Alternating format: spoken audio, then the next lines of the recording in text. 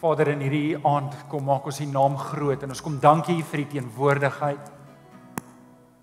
Here, dankie dat soos U woord sê dat U 'n goeie werk in ons begin en U gaan dit volëindig op die dag wanneer Jesus Christus terugkom.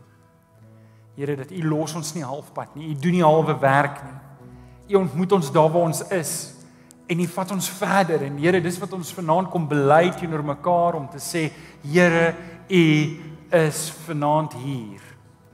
En ons dankie daarvoor. Here, dankie vir elkeen wat vanaand uitgekom het. Here, U weet wat elkeen van ons se behoeftes is. U weet waar elkeen van ons van ons is. U weet waar ons seer het, waar ons hartseer het, waar ons kwaad is, waar ons teleurgesteld is. U weet van elkeen van ons se blydskap. U weet van elkeen van ons se tekortkoming en ons bring dit alles vanaand voor die voete en kom vra Here kom help vir ons om hierdie lewe te leef volgens u woord. Ons bid dit in Jesus naam. En die kinders van die Here sê Amen. Amen. Baie dankie. Ag gee vir die orkes 'n lekker hande klap toe. Is my regtig lekker om hierdie manne en vroue se passie te sien en hoe hulle die Here dien en ek wil vir julle dankie sê. Ek wil vir julle regtig dankie sê. Um dis nou nie regverdig vir my om te sê ek's lief vir julle nie want wat van die res van die orkes, maar ek waardeer ken vir julle span en almal. Geef hulle net weer 'n regte hande klap toe. Nou ja, op daai noot, kom ons staan op. Kom ons staan op en dan hou jou Bybel lekker hoog in die lug en uh en dan praat ons lekker hard saam. Uh, julle het my die laaste twee aande, uh, sonnaande verras met hoe hard julle dwars deur daai masker praat en um vanaand is sover die meeste wat ons was. Ek besef ons het in die skoolvakansie begin. En um dis vir my lekker om julle hier te hê. So kom ons sê lekker saam. Dit is my Bybel. Dit is my Bybel. Ek is wat dit sê ek is. Ek het wat dit sê ek het. Ek kan doen wat dit sê ek kan doen. Met my mond bely ek met my hart glo ek dat Jesus die Here is. Amen. Amen. Baie dankie. Baie dankie. Jy kan jou Bybel oopmaak. Ehm, um, jy kan jou Bybel oopmaak by Eksodus 3 en uh ek het um weet jy daar's altyd mense in jou span wat jy nie sien nie wat 'n rol speel. En um en hulle help jou meer as wat jy dink. So ek sien Wian is vanaand weer hier. Wian. Wian is net uh, hy's net hier om vir my vanaand ook te help wanneer ek oggend sê om sy hand op te steek om te sê dis aand. Want julle ek sit my alles in in die oggend en as ek hier kom want ek nog nie ontslaag geraak van die oggend nie. So dis vanaand, net dat julle as ek een of ander tyd oggend sê hoef jy nie op jou horlosie te kyk nie, is regtig aand. Jy hoef nie. so, julle dis my dis my so groot voorreg om julle vanaand hier te hê. En um, ek moet vir julle sê ek geniet hierdie reeks Audacity geweldig baie, veral met waar ons op hierdie oomblik is in die gemeente. Waar ons op pad is en waar ons as leierskap voel die Here lei ons. En en ek wil hê julle moet baie duidelik verstaan, hierdie reeks gaan nie eintlik oor die rigting van die gemeente nie. Dis eintlik vir jou bedoel. En en en en ek hoop dat die Here vir my help om jou aan te moedig en om jou op 'n punt te kry dat jy 'n bietjie durf het in jou lewe, dat jy 'n bietjie guts het in jou lewe. En kom ek sê gou-gou vir julle, alles in my verlede dikteer dat ek maar net eintlik 'n gewone ouetjie moet wees. Weet ek het groot geword, my pa was gewone, my ma was gewone mense en en alles in my opbou en opvoeding tot hier toe sou gesê ek sou maar net so average miskien 'n bietjie onder average ouetjie gewees het. Maar toe kom die Here Jesus en hy het al die verskil gemaak. Wie van julle kan vanaand sê Jesus het al die verskil gemaak? OK? En en en en dis wat ons getuig teenoor mekaar. Jesus het al die verskil kom maak. Want sien, die ou Johan is gekruisig, hy's dood. Hy is eintlik nie eens 'n hy's nie eens net onder average nie. Hy was niks werd nie. En wat nou leef is deur die Here Jesus en ek wil jou aanmoedig om so 'n lewe te leef, 'n lewe van oorwinning, 'n lewe van durf, 'n lewe met audacity. Audacity. So jy kan jou Bybel oopmaak, daar's gaan 'n paar verse daar saam lees. Um kom kom ek sê net eers, ek wil net hierdie ding kwalifiseer. Hierdie reeks is bedoel vir kinders van die Here. So ek ek wil nie aanvaar jy is 'n kind van die Here nie. Jy mag dit nooit aanvaar nie want ek weet jy sit mense dalk wat die getuienis het. Hulle het groot geword as in 'n kerk, hulle het groot geword in in en jy sê dit gereeld, weet jy, as jy in 'n kerk gebore is, maak dit jou nie 'n kind van die Here nie. Net soos wat dit is dat jy in 'n hospitaal gebore word, maak jou nie 'n drup nie. So jy moet verstaan, jy word nie 'n kind van die Here gebore nie.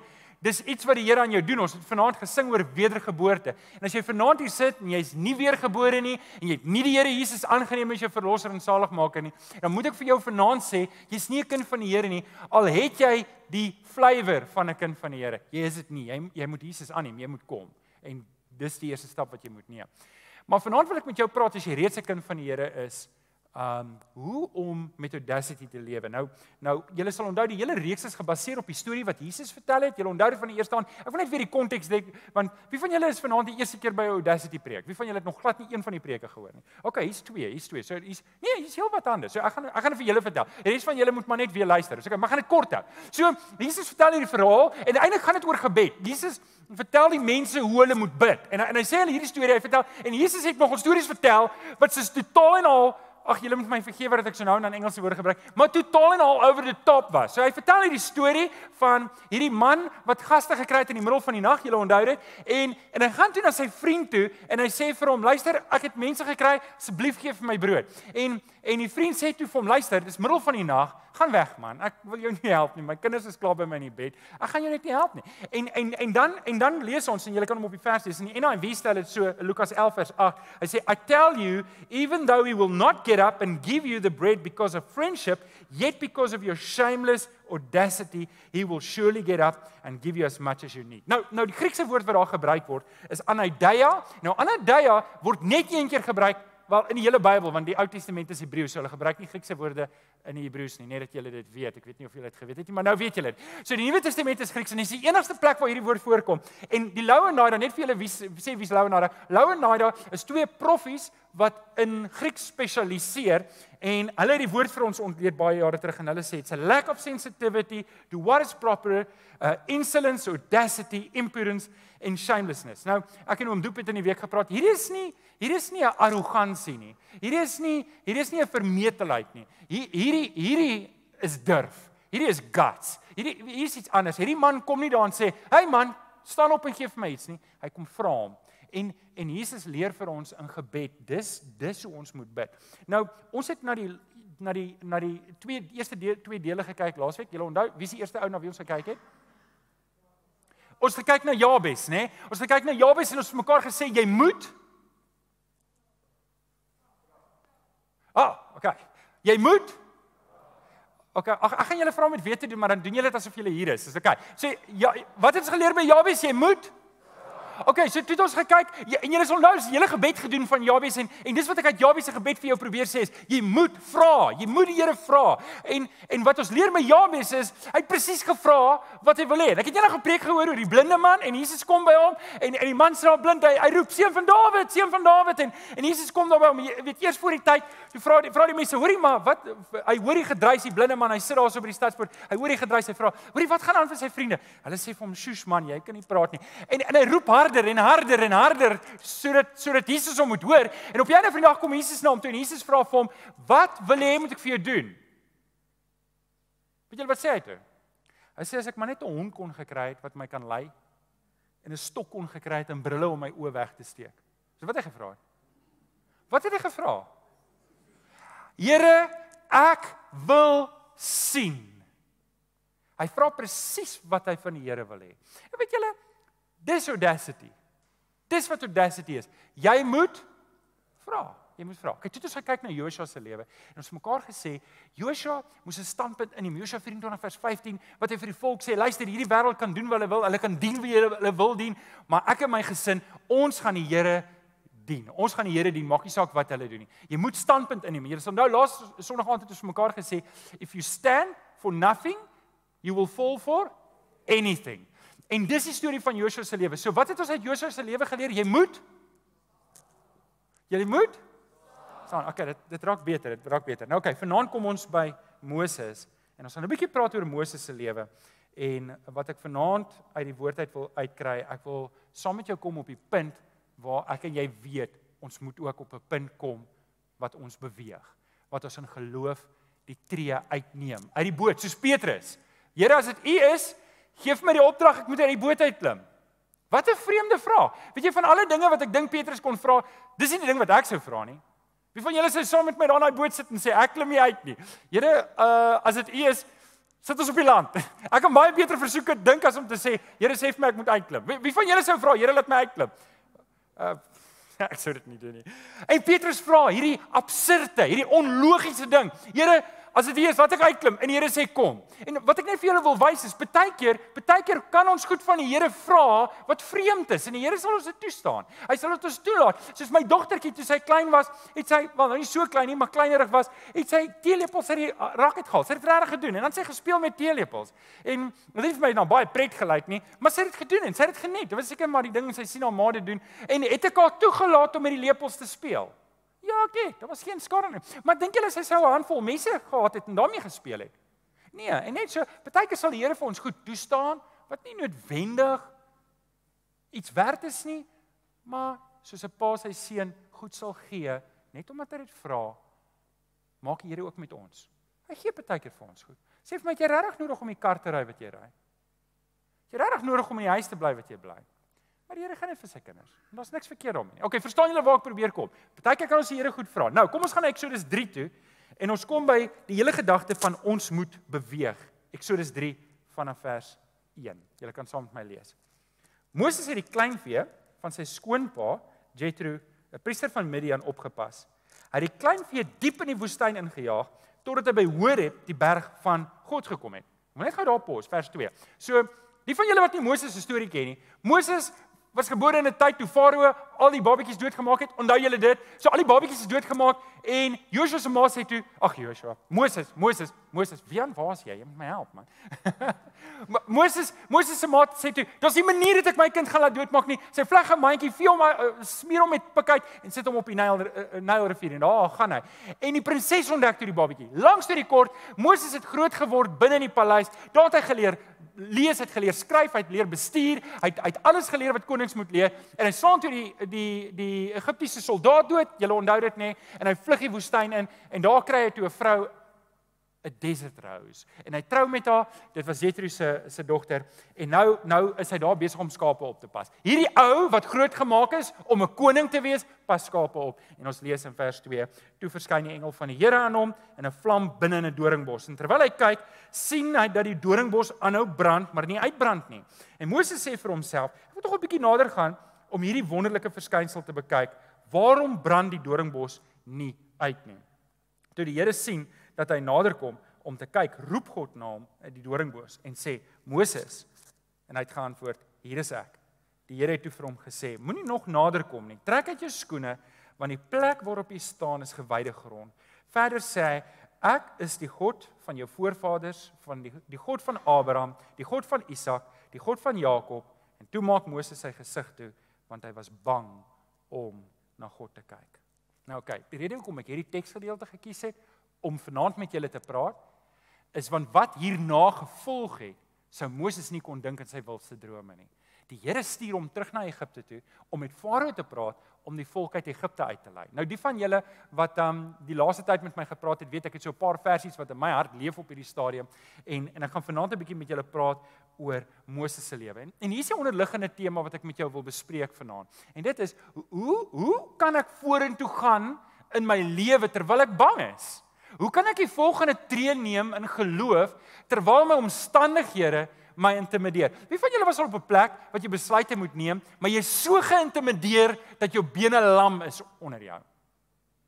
Julle is is dit net ek wat dit beleef op hierdie stadium van my lewe? Elke keer as my telefoon lyn en sê Absalom dan kry ek jelly onder my. Okay. Ek wil ek wil vanaand met jou daaroor praat hoe om met durf deur daai goed te kom want want almal gaan van ons deur almal van ons gaan deur dit en en en Moses moes deur dit gekom het. Moses moes moes die volk lei en dink julle die Here het vir Moses gesê Moses hier's die plan. Hier's die 50 tree plan tot in die beloofde land. Is dit wat Moses gekry het? Nee, die Here het vir Moses net gesê, hoorie, jy gaan my vertrou. Ek gaan julle na die beloofde land toe vat. Hier gaan ons. Is jy reg om te gaan? Hier gaan ons. Uh kan julle verstaan hoekom die volk half en half huiwerig was in die begin? Moses wag wag wag wag. Geef ons meer detail. Moses het jy gedink hieroor? Mo Moses, weet julle, die Here het my gesê ek moet trek. Kom julle of bly julle? Kom julle of bly julle? En nou kom hulle daar buite en hulle kom by die eerste T-aansluiting by die by die rooi see. Julle onthou dit? En en en nou wat nou? sien jy nou Moses, ons het vir jou gesê jy moes beter planne gemaak het. En julle ek het niks teen planne maak nie. Ons moet planne maak. Ons moet met wysheid optree. Maar daar is 'n plek wat jy wat jy wat jy moet uittree in geloof. Daar is 'n plek in jou lewe wat jy sê, hoorie, jy het nou genoeg navorsing gedoen. Jy het nou genoeg gebid en gevas. Jy het nou genoeg gesit en gewag dat iets moet gebeur.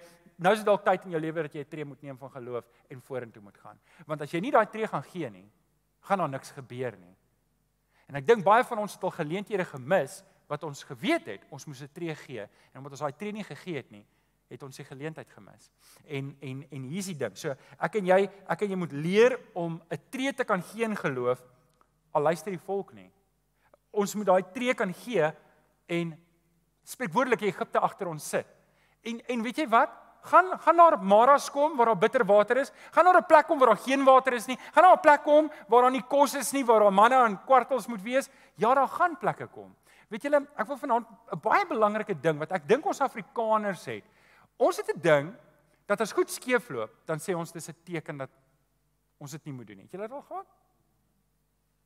Ons sê dit vir mekaar. Miskien is dit 'n teken jy moet dit nie doen nie. Wie van julle het dit al gesê? Ooh, het nou 'n paar goed skeefgeloop. Miskien is dit 'n teken. Want sien julle, ons gaan vir die veronderstelling af uit dat as jy saam met die Here is, alles moet plain sailing gaan. Wel dan Moses het heeltemal verkeerd verstaan. Joshua het dit verkeerd verstaan. Uh, Paulus het dit verkeerd verstaan. Dink aan Paulus, daar op die boot toe die boot sing en hy swem uit saam met 'n klomp bandiete en hy kom op die eiland Malta en nou pik 'n slaam hom. So is hoor die Moses, jy het heeltemal die wil van die Here verkeerd verstaan. En wat ek en jy moet verstaan is die Here sit jou juis in moeilike plekke en moeilike posisies sodat hy sy glorie kan wys, sodat hy sy heerlikheid kan wys. Luister, moeilikhede is juis God se geleentheid om sy krag te wys. Moenie so bang wees vir moeilikheid nie. Moenie so bang wees dat goeders moet skeefloop nie. Moenie so bang wees dat goed nie moet uitwerk nie. Staan op, man up. Christian up, kan 'n mens dit sê. Dis oké. Okay. OK?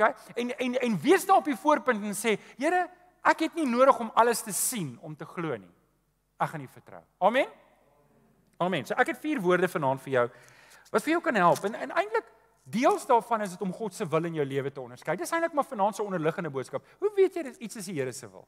Jy weet, nou het jy besluit om te neem en nou bid jy en sê, Here, wys my U wil, maar ehm um, as jy soos ek is, die Here het nog nooit met 'n stem in my oor gepraat en my gesê, "Johan, doen dit nie." Nog nooit nie. En dalk het die Here dit met jou gedoen, dan prys ek die Here saam met jou. Maar wie van julle sit hierso en sê, "Jy het nog nooit die stem van die Here in jou oor gehoor fisies nie." Steek gou op jou hand, ek wil gesien. OK?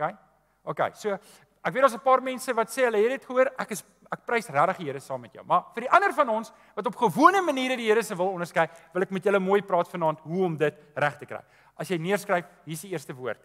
Luister. Luister. Luister na die Here.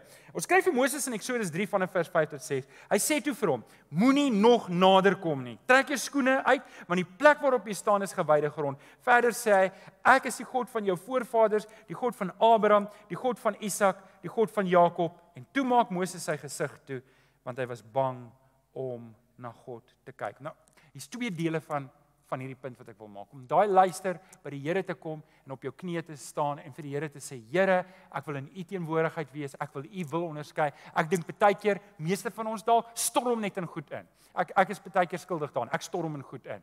Jy weet soos in soos die gesegde het jy al gehoor, is makliker om om verskoning te vra as om toestemming te vra. Het jy dit al gehoor? So dis ek daai, hoorie. Ek sal ek sal later ek figure dit uit as dit aangaan. Okay, as ons daar kom en dit het nie gewerk nie, dan pak ons maar die brandwonde toe en die steekwonde toe. Gaan ons maar net aan met ons lewe. En daar's 'n paar van julle wat so ook is. Maar ons moet stil word by die Here. Ons moet by die Here se voete uitkom soos Moses en en en en en daai oomblik hê wat ons net by die Here sê en sê Here, ek het rigting nodig vir my lewe. Ek het nodig want sien jy jy lewe nie op jou eie audacity nie. Jy lewe op die mandaat wat die Here vir jou gegee het. Ek en jy lewe nie op ons eie vleeslike oortuigings nie. Nou, kom ek gaan net gou eers terug na Moses se lewe toe. Net om vir jou te wys hoe Moses se lewe opgebou het tot waar hy is en wat die Here in sy lewe wou doen. So sê gou-gou vir my, dink julle die gebeure in Moses se lewe was toevallig? Nee, dit was nie. Dit was nie. Die Here het dit so be bepaal, die Here het dit so bestuur dat Moses behoue gebly moes word. Weet julle dit was nodig dat Moses in die paleis moes groot geword het. Weet julle hoekom? Want die Here wou gehad het Moses moet die hele volk lei. OK, en toe Mo Moses nou daar begin en uit agtergekom iets is fout. Luister, ek is 'n bietjie ander klere as hierdie Egiptenaars. Ek is 'n bietjie donkerder as hulle. En my hare lyk 'n bietjie anders as hulle hare. Sê maar ek is 'n Jood man. Ek is 'n Israeliet. Kyk, hier's my mense. En dit raak my as ek sien hulle word geslaan. Dit raak dit ontstel my as ek sien oor die dinge wat hier gebeur. En toe gaan slat hy 'n soldaat dood. Dink julle dit was toevallig? OK, so selfs my en jou verkeerde, selfs die sonde wat ek en jy partykeer gedoen het, vang die Here nie omkant nie. Hy weet dit klaar. Hy weet alles wat ek en jy verkeerd gedoen het en as ek jou vanaand mag intimideer, hy weet nog alles wat jy verkeerd gaan doen ook. En dit vang hom nie omkant nie. Die Here sê, "O, nou dit gebeur. Wat gaan ek nou maak met hierdie ou?" Ha, ah, die Here het geweet Moses gaan dit doen en hy het dit in sy plan ingewerk. Hier vlug die man in die in die die woestyn en hy ontmoet sy vrou daar en presies op die regte plek op die regte oomblik ontmoet hy die Here daar in die woestyn. Nou wat as ek vanaand vir jou sê dat alles wat in jou lewe gebeur het tot vanaand toe het jou opgestel vir die volgende tree wat jy moet neem in jou lewe. Wat as ek vanaand vir jou sê, luister. Die Here was getrou vir jou en met jou en in jou lewe tot op hier toe en hy gaan jou nie nou in die steek laat nie. Jy moet hom vanaand vertrou. Maar moenie daai volgende tree neem voordat jy nie jou skoene uitgetrek het en by die Here gaan kniel het en jou gesig toegemaak het en gesê Here praat met my want ek luister. Praat met my Here. Ek luister. OK, bring ons by weer woord 2. So dis die luister. Die tweede een is doen. Doen wat jy weet jy moet doen. Doen wat jy weet jy moet doen. Eksodus 3:35 vers 1 lees ons: Moses het die hele gemeente van Israel bymekaar geroep, dis nou 'n paar jaar later, en het vir hulle gesê: "Dit is die gebod wat die Here julle beveel het om te gehoorsaam." Ek kry baie keer mense wat met my praat en sê: "Johan, hoe weet ek wat is my lewensroeping?" Hoe weet ek wat my lewensroeping is? En en ek wil vanaand 'n konsep met julle deel. Dalk het julle nog nooit daarvan gehoor nie. Dalk is dit die eerste keer, maar dalk weet jy dit, dan herinner ek jou net daaraan. Daar's twee gedeeltes van die Here se wil. Daar's die algemene wil van die Here en daar's die spesifieke wil van die Here. Nou, ek gaan vir julle baie eenvoudig. Almal van ons is onder die algemene wil van die Here. Wat is dit? Die Here wil hê jy moet Jesus aanneem. Die Here wil hê jy moet jy moet Jesus Christus aanneem as jou verlosser. Die dis wat God vir jou wil hê. God wil hê jy moet liefde hê vir die woord, jy moet liefde hê vir gebed. Jy moet hom gereeld ken. Jy moet hierdie mense lief hê. Die die Here wil hê jy moet ingeskakel wees by die gemeenskap van die gelowiges. Hy wil nie hê jy moet daar een kant sit op jou eie en 'n koeltjie op jou eie wees en 'n lone ranger wees nie. Dis nie wat die Here vir jou wil hê nie. Die hierdie is die algemene wil. En ek kry baie keer dat mense soek die roeping van die Here. Hulle soek 'n spesiale wil van die Here, maar die algemene wil van die Here het hulle nog nie aandag gegee nie. So begin hier. Doen wat jy weet jy moet doen. Ek dink as prediker, prediker sê dit so mooi in Prediker 9 vers 10 dink ek wat sê doen wat Johan vind om te doen. Met ander woorde hier in hierdie situasie sal nou-nou verder uitbrei. Jy weet wat om te doen. Doen dit. Moenie moenie wag tot iets groter kom en nou nou nou sê ek doen niks tot ek iets groter kry nie. Doen so lank wat jy weet wat jy moet doen. En dan en dan as jy dit gedoen het en die Here sit iets anders in jou hart, dan gaan jy volgens dit. Ek wonder Chris, kan jy dalk net vir my nog 'n plakkertjie bring nie asseblief? Hierdie ding pla my. So Hoe lyk God se spesifieke doel vir my lewe? Hoe hoe hoe weet ek ek het 'n spesiale roeping? Is jy reg hiervoor? Dalk wil jy dit neerskryf want ek gaan vir jou ek gaan vir jou die groot geheim nou gee. Is jy reg hiervoor? Hoe weet ek wat's my roeping in hierdie lewe? Wel is dit nou? Jy doen nie. Meeste van die kere doen jy net nie. Dankie Chris. Dankie Chris. Jy jy weet dit net nie. Jy weet dit net nie. Jy kom dit eers later aan agter. Meeste predikante met wie ek praat, meeste van hulle, hulle het maar net hulle het maar net gedoen wat in hulle hart is om te doen. Hulle het dit gedoen en dan agtergekom, o, maar dis wat die Here vir my wil hê. En en en dis dalk wat jy moet doen. Dalk jy jy, jy doen nie algemene wil van die Here en en en en en en jy's tevrede daarmee, maar as iets wat in jou hart brand, daar's net ietsie klein wat in jou hart brand. Fokus daarop, doen dit. Doen dit wat in jou hart is wat brand vir die Here. Dalk moet jy sonnaskool gaan gee. Gaan doen dit. Dalk wil jy in die orkes sing. Doen dit. Jy weet nooit nie. Kom ek vertel julle net weer die storie van Cathy Viljoen. Wie van julle weet wie Cathy Viljoen? Steek net gou op. Dis nou al die ouer mense. Charles ek weet jy so oud. Cathy Viljoen, jene toe ek tot bekering kom. O, oh, kyk toe ek tot bekering kom, toe gooi ek al my Toe Unlimited en al my Slave to the Music, alles weg, slaai die kassette stukke in. En toe luister ek net Christelike musiek. Dit was 'n skok om van Toe Unlimited. Julle ken nie Toe Unlimited nie. Nee. Dit was hierdie ratatata om om om sy musiek. En toe moet ek van daar af gaan na Cathy Viljoen toe wat is o, oh, julle dit was dit was wonderlike tye hoor. En uh met tannie Cathy. En maar ek was toe by 'n geleentheid waar Kathy Viljoen hoor haar getuienis gee. Chris, nou is die ding erger, hoor.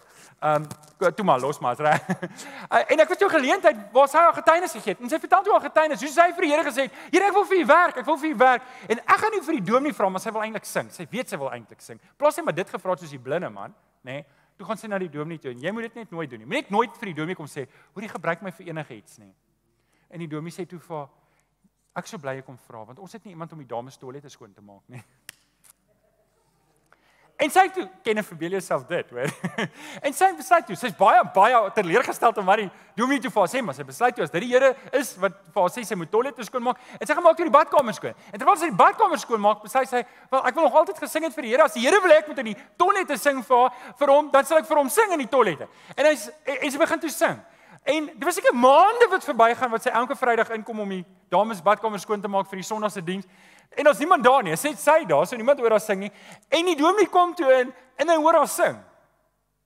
En hy klop en hy sê: "Hoerie, ek is jammer, maar jy sing verskriklik mooi. Wil jy nie in die kerk se orkes sing nie?"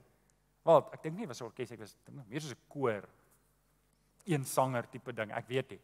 En dis waar bediening begin het. En wat ek net eintlik vir jou probeer sê is is net soos wat die Here met die volk gemaak het, hy het hulle met 'n ompad gelei. Ek weet nie of julle dit weet nie, maar ek sal dit nou lees. Hy het hulle met 'n ompad gelei het hulle uitgebring waar hulle moes wees. En net so is jy dalk op 'n plek en jy's besig iewers waar jy voel, maar die Here gebruik my nie. Die Here gebruik my nie. Weet jy, ek probeer hierdie dinge, maar die Here gebruik my nie. My doen net wat jy nou doen en bewys dat jy getrou is daarin.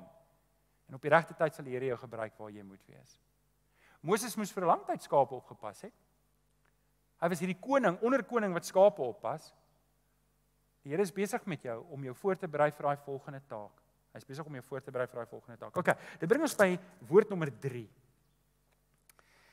En dit is as jy wil neerskryf, beweeg. Trek wanneer jy weet jy moet trek. Eksodus 13 vers 17. Hier is die ompad vers waarvan ons nou net gepraat het. Toe die farao die volk laat trek het, het God nie die pad na die land van die Filistyne toe laat vat nie, hoewel dit die kortste was, want hy het gesê as die volk in 'n geveg betrokke raak, kan hulle spyt kry en na Egipte toe teruggaan. As die Here vir jou sê om te beweeg, dan moet jy beweeg. Wanneer jy weet, hoor jy dis nou tyd om daai tree uit te gee uit die boot uit, dan moet jy daai tree gee. En gaan dit gemaklik wees? Ek beloof jou, dit gaan nie gemaklik wees nie. Daar's allerlei mooi gesegde hier. Gesegde hier's wat is dit nou te kom my nou nie. Gesegde kies, daar's hy. Wat wat goed sê soos byvoorbeeld if your vision doesn't scare you, it's not big enough for God. Het julle dit al gehoor? En ons sê dit so maklik.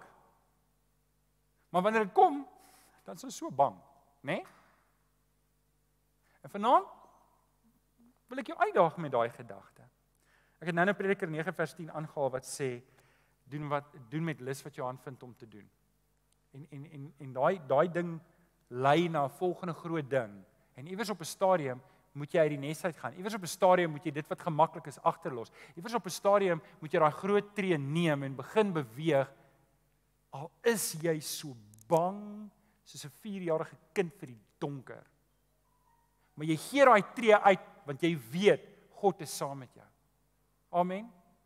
Jy gee daai tree, jy moet beweeg, jy moet uitgaan en jy moet jy jy, jy moet daai tree gee. Joshua 1 vers 9, um Joshua 1 vers 3 word dan waar in jou lewe en ek dink hy's op die bord. Hy sê elke plek waar jy jou voetsel op sit en sal trap, sal ek aan julle gee soos ek vir Moses gespreek het. sien, as die Here vir jou daai opdrag gee en jy beweeg, jy weet dit nie. Jy weet nie hoe dit gaan lyk nie. Jy weet nie hoe dit aan die ander kant gaan lyk nie. Jy's dis asof jy toe oor 'n ding inloop, maar die Here gee vir die grond en elke keer as jy daai tree gee, dan staan jy verstom want elke keer het jy gedink tot hier toe en ek gaan nie verder vorder nie. En dan gee jy nog 'n klein treetjie en dan dink jy tot hier toe en is nog en elke keer dis dis 'n dis 'n ongoing battle en as jy jouself kry, is jy 40 of 50 of 60 tree verder en partykeer moet jy net terugkyk om te sien hoe ver het jy gekom saam met die Here? Hoe ver het die Here vir jou die stryd gestry en hoe ver het jy al saam met die Here gestap om te kan sê ek moet partykeer terugkyk om vorentoe te kyk en te weet, hoor jy die volgende tree wat ek gaan gee, gaan die Here getrou wees. Kan ek net vir julle getuienis gee? Ek wil net vir julle kort getuienis gee. Weet ons is mos nou besig met die grondkoop en en ons weet nog nie. Ons weet nog nie. Hoor enigiets kan op hierdie stadium nog skeefloop? Enigiets. Ons ons moet nou die huis verkoop. Julle kan almal nee stem maar verkoop ons nie die huis nie. Wat doen ons dan? Dan bly ons in 'n skoolsaal wat ons nie het nie. OK? So of ons kry nie die huis verkoop nie. Julle sê almal ja, ons kry nie die huis verkoop nie. Wat dan? En en sien al hierdie goeters kan ons vir mekaar sê, weet jy, is dit Eeyore van Winnie the Pooh wat gesê het, jy weet dit help nie ek probeer iets doen nie want dan weet dan loop ek die risiko om 'n mislukking te hê. En dis hoe baie mense leef. Jy weet ek neem net nie besluite nie. Ek ek gee nie daai volgende tree nie want dan is ek nie in die risiko om 'n mislukking te beleef nie. So ek doen liewer niks nie. En vriende, dalk moet jy nie so bang wees vir 'n mislukking nie. Dalk moet jy nie so bang wees om 'n fout te maak nie. Want die feit is Moses het nie geweet wat vir hom wag nie. Maar hy het geweet sy oë is nie op die pad vorentoe nie. Sy oë was op die Here. En as my en jou oë op die Here is, dan kan ons die volgende tree gee en dit is woord nommer 4. En dit is vertrou. Vertrou. Die Here gaan deurkom. Hoorie, die Here gaan deurkom. Hoe sê dit saam met my? 1 2 3. Die Here gaan deurkom. Kan ons dit 'n bietjie kan ons dit 'n bietjie herhaal? Weet dat dat jy net daai gevoel kry, die bas in jou borskas voel en alles. Weet dan sê dit met oortuiging. Sê dit saam met my. Die Here gaan deurkom. Kom ons doen dit weer. Die Here gaan deurkom. Ons doen nog twee keer. Die Here gaan Okay, maar nou moet jy dit bedoel. Die Here gaan deurkom. Eksodus 14 vers 14. Draai Moses om na die volk toe nadat hulle hom beskuldig het gesê: "Luister, is daar nie genoeg plek om ons in Egipte te begrawe nie? Nou bring jy ons hier buite waar ons hier kan doodkom." Moses moet kalm, Moses moet kalm bly terwyl hy met hulle praat. En ek wil vanaand vir jou sê, jy moet kalm bly. Jy moet kalm bly. Jy moenie laat jou emosie weghardloop met jou wanneer jy by hierdie dinge kom nie. Jy moet kalm bly. En in Eksodus 14 vers 14 lees ons: "Bly julle maar kalm. Die Here sal vir julle veg." Sê 'n bietjie prys die Here. Dis wonderlik. Hoorie as die Here jou geroep het, nê, nee, as die Here jou geroep het, dan is dit nie jou geveg nie. Jy is besig om saam met die Here te loop. Die Here is nie besig om saam met jou te loop nie. Kry daai volgorde net reg in jou gedagte. Jy is besig om die Here te volg. Die Here is nie besig om jou te volg en jy moet elke nou en dan vir die Here raad vra en sê, "Ooh, Here, okay, ek het nou hier by 'n plek gekom, weet, uh, nou moet nou moet u net weer gou kom help nie." Nee, nee, jy stap saam met die Here. En sorg dat dit so bly. Jy begin ons by stap nommer 1, wat jy gaan luister. Jy gaan by die Here se voete en jy gaan en jy gaan soek hom. Ek wil twee verse afsluit mee en hiermee gaan ek afsluit. En ek wil vanaand weer vir jou kans gee om vir jou te bid as jy behoefte het aan gebed. Dankie Kenny. Hebreërs 11 vers 1 op die skerm sal jy hom sien. Om glo is om seker te wees. Om te glo is om seker te wees. Sê gou-gou seker te wees. Om te glo is seker te wees van die dinge wat ons hoop, om oortuig te wees van die dinge wat ons nie sien nie. Sê dit gou-gou weer, die dinge wat ons nie sien nie. So, om te glo is om seker te wees van die dinge wat ons hoop om oortuig te wees van die dinge wat ons nie sien nie. Nou, ons lees Hebreërs 11 vers 1. Wie van julle het al hierdie vers gehoor? OK, nou vers 6 is onbekend. Vers 6 word nie so baie aangeraak nie. En ek wil vanaand vers 6 vir julle sê, want jy moet vers 1 en vers 6 saam lees. Vers 6 sê as 'n mens nie glo nie, is dit onmoontlik om te doen wat God wil. Wie tot God nader moet glo dat hy bestaan en dat hy die wat na hom soek dat hy die wat na hom soek. Sonne aan is maar laat nê. Nee. Ouens, ek en jy moet in geloof lewe. Ons moet die Here vertrou. Dis wat audacity is. Audacity sê, weet jy wat, ons het ons het Jabes gedoen laasweek. Ons het gesê jy moet die Here vra. Jy moet hom vra. Jy moet jy mag vra. Jy jy jy Jesus vertel die een storie op die ander storie op die ander storie om te sê jy moet vra. Jy moet vra. Hy vertel hierdie fenominale storie, nie van julle wat my lank ken, weet ek het al 'n paar keer daarvan gepraat, van hierdie vrou wat se man oorlede is. En iemand het haar saak te nagekom. En sy gaan na die regter toe, maar dit is 'n onregverdige regter. En sy gaan elke dag na hom toe en sy sê regter, doen asseblief reg aan my saak. Doen asseblief reg aan my saak. Maar omdat die regter onregverdig is, soek hy geld en sy het nie geld nie, so hy help haar nie. Maar sy hou aan sê hy want elke dag as hy sy deur oopmaak, want die man was al moeg vir die vrou. Elke dag was hy daar. En op 'n stadium toe sê sy sê hy, is nou genoeg. En ek kan sien hierdie vrou gaan my nog kom klap op die einde van die dag. Gaan kyk jou Bybel, hy sê dit net so. Sy gaan my kom klap. en hy gee vir haar reg. En dan sê Jesus hierdie woorde: "Hoeveel te meer sal julle Vader nie vir julle help wanneer julle hom vra nie?" Weet julle wat begin die Jesus die woorde daar? Jesus het vir sy disippels 'n gelykenis vertel om hulle te leer dat hulle moet aanhou bid. Ons moet Jabes se voorbeeld volg, ons moet vra. Ons moet Joshua se voorbeeld volg, ons moet staan. En ons moet Moses se voorbeeld volg. Ons moet beweeg. Ouens, ek hoop jy word uitgedaag om met audacity te lewe, om nie terug te hou nie, om nie bang te wees nie. En om te staan al is jy bang. Jy baie keer bang? Ek is. Ek is. Maar ek gaan staan vir die Here. Want ek staan nie vir my eie saak nie, ek staan vir die Here se saak. Ek wil vir jou bid. Hoe dit nou gaan werk is, ek gaan nou bid en ek gaan nou saam met Kenneth 'n lied sing en as ons klaar gesing het, gaan ek 'n geleentheid gee vir 'n paar van julle wat wil kom bid om voor te kom staan en saam te kom bid en as jy enige behoefte het om om saam met iemand te bid, dan is dit jou geleentheid om voor te kom bid. Kenneth hulle gaan nog 'n lied sing. Jy's welkom om, om nog daai lied ook saam met ons te geniet en te sing. Ehm um, en maar die van julle wat kan moet huis toe gaan kan huis toe gaan. Kom ons sluit die oë. Vader, so dankie dat ons uit Moses se lewe kan leer dat dat iewers op 'n stadium moet ons ook daai stap neem. Dit ons moet U volg en ons moet luister en ons moet nie die hele tyd bang wees nie. Here, dankie vir hierdie stories van geloof wat ons uit die Ou Testament uit kan kry wat vir ons uitdaag. Here om met hierdie durf te lewe.